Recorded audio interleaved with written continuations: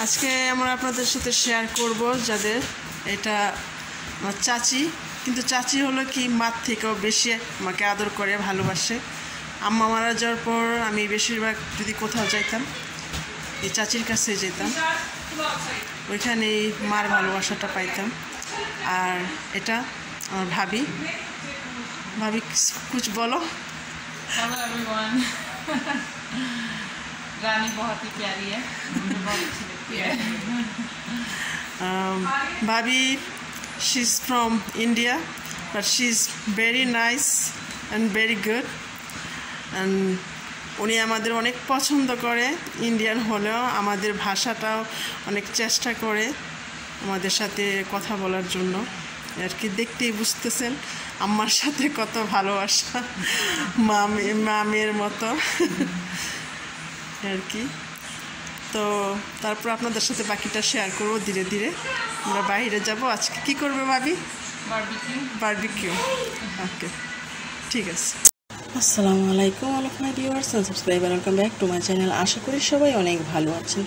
আজ আমি আপনাদের সাথে শেয়ার করব আমার ফ্যামিলির কিছু অংশ। নুসরাত এখন ভ্যাকেশনে আছে।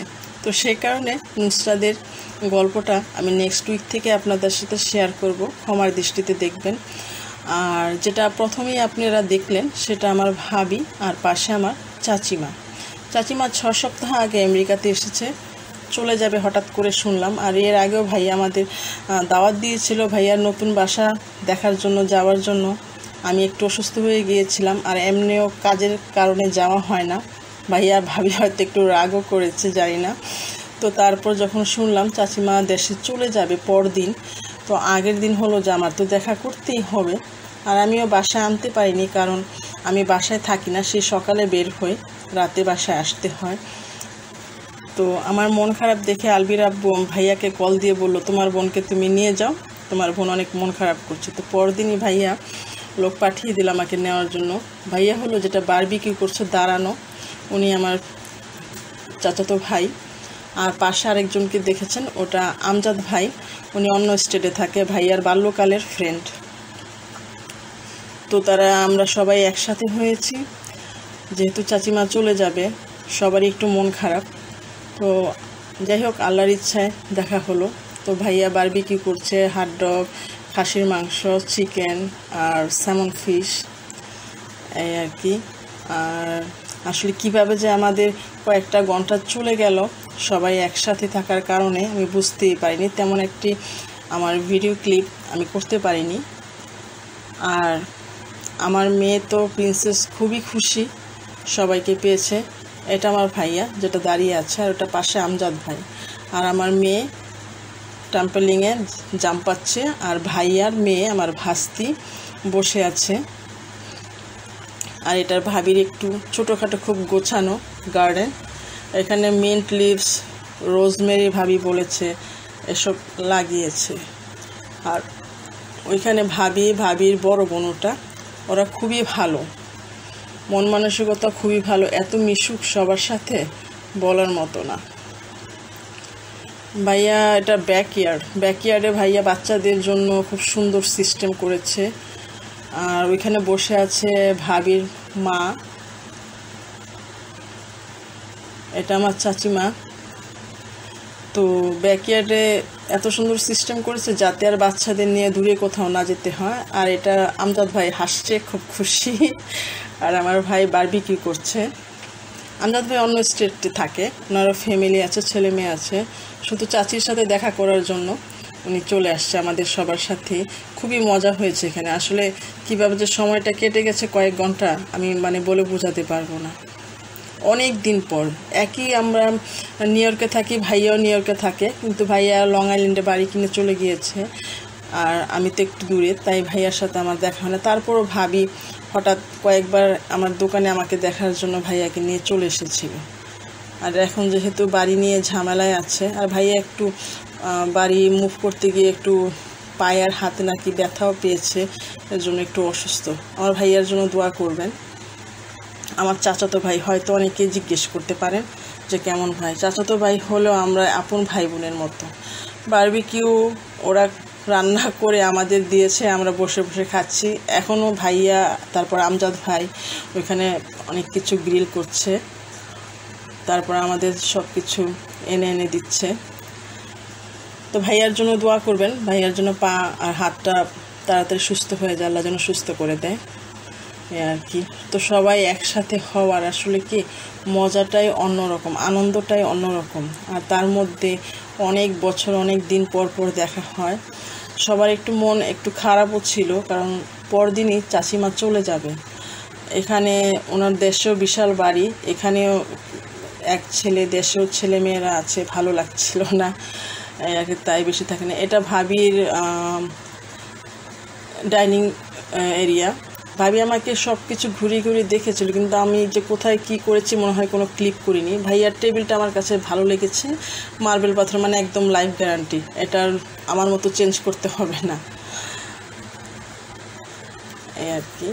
তো সন্ধ্যা হয়ে গিয়েছে, আমরা সারাদিনই খুব আনন্দ করেছি, মজা করেছি, সবাই একসাথে গল্প করেছি।